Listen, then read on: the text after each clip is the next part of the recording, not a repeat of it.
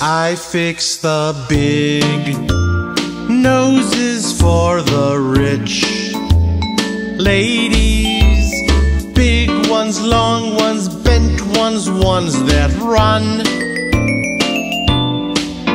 If they don't like their looks, they can come to me. I'm so glad that I'm in cosmetic surgery. They love their new noses, all my rich ladies. Show the world your face so fresh and new.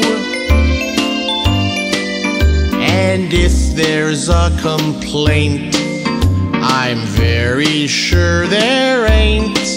I'll do it free of charge again for you.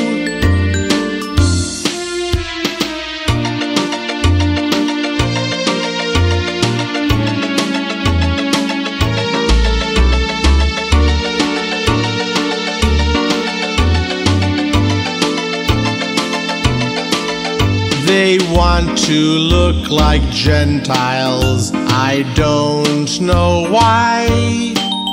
I charge them 15,000. They don't blink. And I hold high your new nose is lovely, rich. Ladies, make sure you recommend